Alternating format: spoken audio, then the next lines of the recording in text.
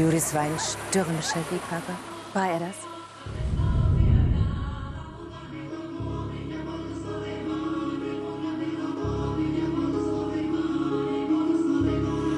Ich liebe dich. Das sind Bilder aus Lettland. Mutter, warum hast du gesagt, es gäbe keine Fotos?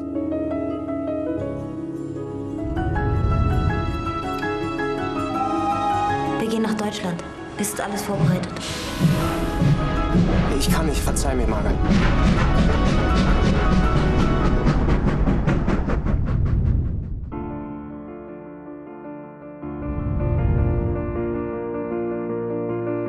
Ein verheirateter Mann gehört zu seiner Frau.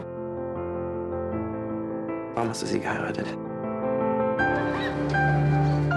Ein Mann gehört zu seiner Frau. Es ist, als müsste sie irgendwas loswerden. Etwas, das sie schrecklich quält. Bedienen Sie sich! Das bist du, Mutter. Die Linke. Es ist gut. Hab dich nicht verdient, Margaret. Das macht nichts.